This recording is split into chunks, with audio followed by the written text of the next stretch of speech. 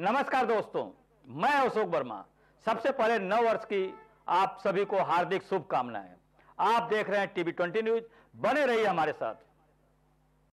जनपद संभल में तहसील चंदौसी क्षेत्र के ग्राम विजयटा पहुँची भारतीय जनता पार्टी तीस बिलारी विधानसभा। संभावित प्रत्याशी नरेश यादव का फूलमालाओं से स्वागत हुआ। कौशल विकास केंद्र कंप्यूटर संस्थान का फीदा कार्ड का उद्घाटन भी किया और साथ ही साथ छात्राओं को पुरस्कार भी, पुरस्कार से भी सम्मानित किया गया। इस मौके पर सभी सम्मानित लोग मौजूद रहे।